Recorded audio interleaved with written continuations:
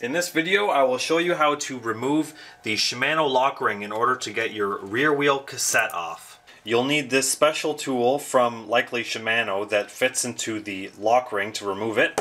You'll either need an adjustable wrench or a regular wrench to fit the tool, and you'll need a chain whip to keep the cassette still while you remove the lock ring. To start, we'll want to remove the rear axle, so we'll take off the end and the little spring and we'll just let it slide out the bottom.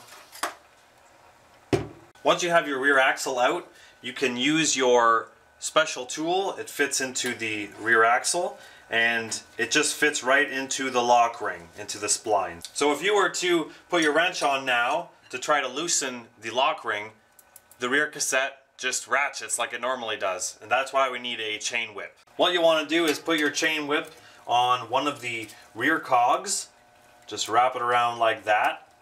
And this allows you to hold on to the uh, rear cassette from spinning. Put your wrench on the tool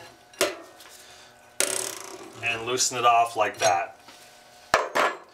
And this should just spin right out like that.